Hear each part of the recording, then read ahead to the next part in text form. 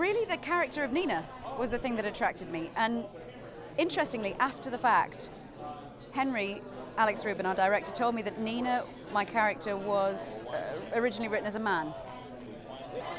It's a story really about people having lost connection with one another. And so throughout the film, in, in different storylines, because there are so many different things going on, they all regain a sense of what gives them purpose in life and, and a sense of self as well. Kind of feeling good about themselves, feeling good about the things that they've managed to accomplish. There's a really uplifting quality to this film.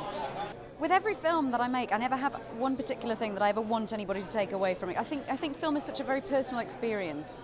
Um, and so it could mean so many things to so many different people. It's, it could be a, a, a completely hopeful experience. It could be harrowing.